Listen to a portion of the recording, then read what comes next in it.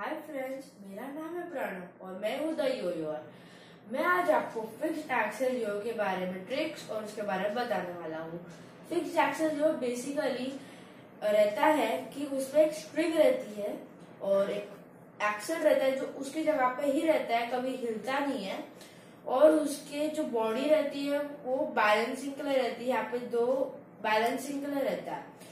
तो fix Excel योग के बारे में बेसिक चीज़ें मैं आपको बता देता हूँ, इसको बाइंड कैसे करते हैं? मतलब जो स्ट्रिंग है, इसके ऊपर कैसे करते हैं बाइंड आपको सिंपली क्या करना है? इसको ऐसा रोल करना है सिंपली ऐसा ऐसा ऐसा ऐसा रोल करना आपको, और कुछ नहीं करना, इससे बाइंड हो जाएगा। ऐसा होने के बाद इसमें ट्रिक रहती है, सबसे बेसिक ट्रिक रहती है, उसके लिए आपका जो बाइंड है वो एकदम अच्छा रहना चाहिए। अगर वो आपका बाइंड जो है अच्छा नहीं रहेगा तो ट्रिक थोड़ी ऐसे आपको करते नहीं आएँगी। इसके लिए आपको जो बाइंड है, वो अच्छे से करना पड़ेगा। तो वो ट्रिक का नाम है ग्रेविटी पुल वो कुछ ऐसे करते हैं। तो ये सिंपली करते हैं। आपको फिर से करके बता दो एक बार।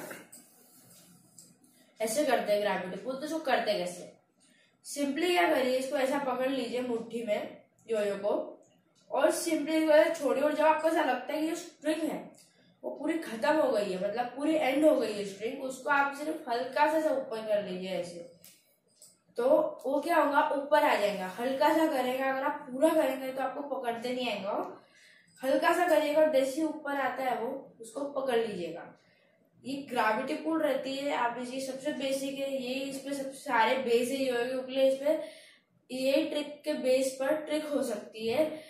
तो ये थी मेरी एक basic video about the fixed axle yoyo तो मेरे चैनल को सब्सक्राइब कीजिएगा लाइक बटन भी दबा दीजिएगा और बेल आइकन भी दबा दीजिएगा, जिससे मेरी वीडियोस के बारे में आपको सबसे पहले मालूम पड़ेगा. Bye guys